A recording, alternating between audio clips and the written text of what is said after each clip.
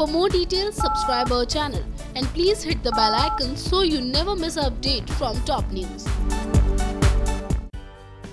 TV industry की most popular साथ ही दर्शकों की सबसे फेवरेट एक्ट्रेस दिव्यांका त्रिपाठी। यूँ तो आए दिन खबरों में छाई रहती हैं। वेलेस फिर वो बात हो उनके मोस्ट पॉपुलर शो ये है मोहब्बतें की या फिर उनकी शादी की।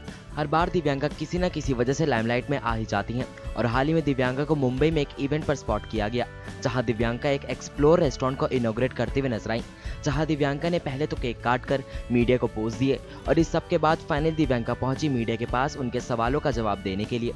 इस इवेंट में दिव्यांका ने अपनी पर्सनल लाइफ से जुड़े कई बड़े खुलासे भी किए, लेकिन इस मीडिया इंटरेक्शन के दौरान दिव्यांका से एक सवाल ऐसा पूछ लिया गया, जिसका दिव्यांका के फैंस काफ़ी बेसब्री से इंतज़ार कर रहे थे। जी हाँ इस इवेंट पर दिव्यांका का अपने मोस्ट कॉन्ट्रोवर्शियल कैरेक्टर शन्नो को लेकर बात की।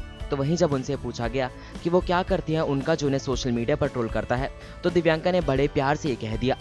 ट्रोलर्स का तो क्या कहना है? उन लोग को आई थिंक मज़ा आता है जो अपने परिवार में लड़ाई करते हैं अपने पति से बॉयफ्रेंड से या पा, मम्मी पापा से। तो फिर वो आते हैं media online and social media बैठ के।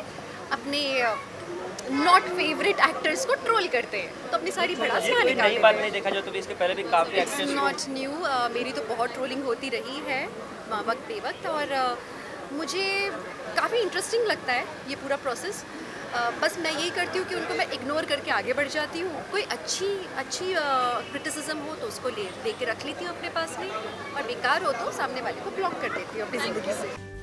वेल दिव्यांका की स्टेटमेंट को सुनने के बाद इतना तो साफ़ हो गया है कि दिव्यांका अपनी ज़िंदगी में ट्रोलर्स को ज़्यादा इंपॉर्टेंस नहीं देती है। और दिव्यांका त्रिपाठी से जुड़ी और भी लेटेस्ट खबरें जानने के लिए सब्सक्राइब करें हमारा channel top news just for you top news से अमित की report more details, subscribe our channel and please hit the bell icon so you never miss an update from top news.